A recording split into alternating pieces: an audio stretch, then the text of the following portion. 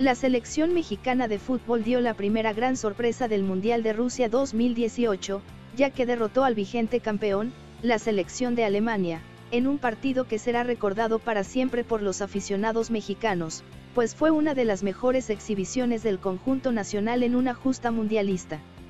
En este partido hubo presencia americanista, pues dos canteranos de nuestro equipo tuvieron actividad, pero el que más lució sin duda fue el guardameta nacional Guillermo Ochoa.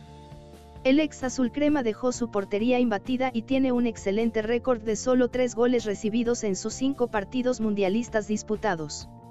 Es por esto que Memo ya llamó la atención de un histórico del fútbol mundial, hablamos del técnico italiano Carlo Ancelotti, el cual podría llevarlo a su actual equipo, el Napoli de Italia. De esta forma muy pronto Ochoa podría jugar por fin en un gran del fútbol europeo.